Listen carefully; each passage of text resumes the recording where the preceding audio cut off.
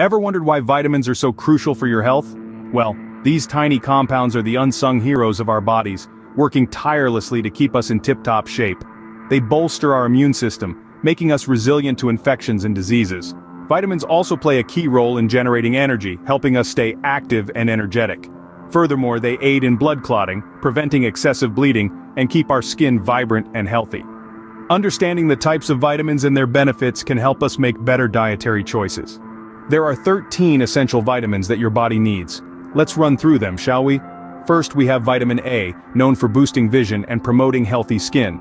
Then we have the B vitamins. Vitamin B1, also called thiamine, aids in energy production.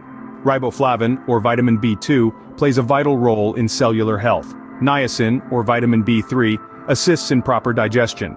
Pantothenic acid, or vitamin B5, supports adrenal function. Vitamin B6 helps in brain development. Biotin, or vitamin B7, is popular for hair health. Folic acid, or vitamin B9, is crucial for pregnant women.